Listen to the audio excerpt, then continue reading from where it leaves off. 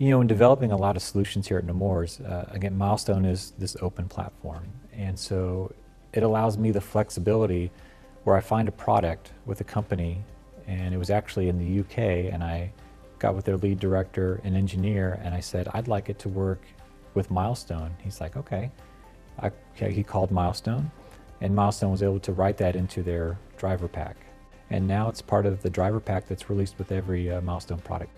Yeah, it, re- it really is great because it was a simple process. He reached out, he said, this is the this is what we're doing to make your products work on our open platform. You know, you, you kind of look at where are we going as a, as a health system, where are we going in the physical security technologies, even with video, and it's taking that mature technology to an immature vertical.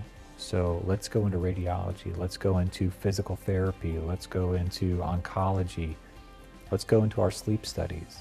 What are they doing with video that maybe another vertical is doing better that we could utilize either the milestone platform. Maybe we can utilize a different group within Nemours or any organization to provide care better. And so really that's where I, I take the focus from. How are we doing something? Do we have a tool already in hand that we can make that easier? And that's really what I look at is, is where's the need and does it fill a need?